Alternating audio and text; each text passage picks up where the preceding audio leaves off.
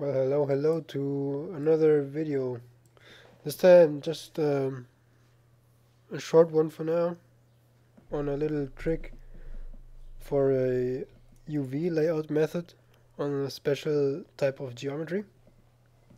So I had a project, or I'm still in the project, I have to model like a speaking tree and I made this model and in the uh, process of UV layouting, I noticed these are going to be pretty hard to lay out since um, I extruded them and kept working with the mesh did some um, adjustments to this to the edge flow and stuff. The UVs got uh, got really they got destroyed. I couldn't work with them just from scratch. So what I was doing uh, was pretty silly. I I just selected a, the whole uh, tube here and then I gone to create UVs and did my auto mapping first. Let me pull out my UV editor.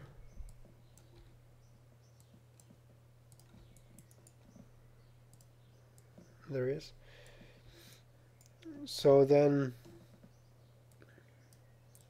what I did was I selected all edges deselected the rest so that it doesn't connect down here. Oh we got this one here too. Well it doesn't matter. Just now for showing you how it's uh, how this is not the way to do it so then I just connected it, picked up a, an edge like this one, cut it out again, and then unfolded the UVs.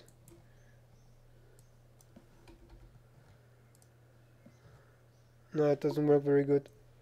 Maybe because of this little part here being part of the thing. So I'm going to undo all of this going to show you another much easier way. If you have geometry like this, like this uh, consistent tube-like, where it's uh, really just one edge ring after the other, or, or same here on the on the roots. What we can do is select all faces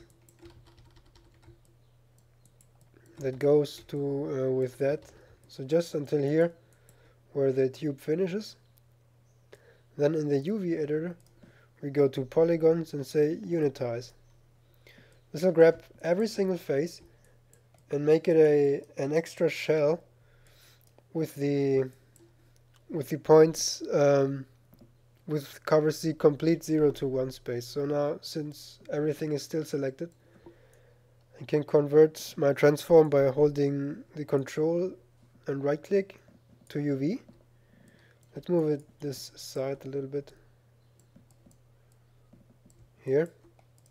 Now they are also oriented correctly, so just by drag selecting over this edge, right here, I'll go ahead and select all edges there that are coming this way. So now the only thing we need to do is deselect one of these edges where we like our scene to be. So I'm going to pick up this because it's down here no one's gonna see no one's gonna ever see it. And now if we connect this see how we get this lots of stripes. Now we just need to go and select this edge which now selects all of these. Could also deselect this so you can see better what I mean. And now connect again move into and what we got here is a very clean mesh of this of this thing. We could leave this now just like this.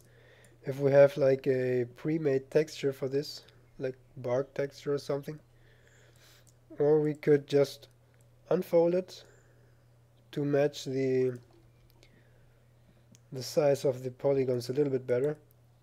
But yeah this is the the method that I wanted to show you if you ever had problems doing these kinds of models in any case.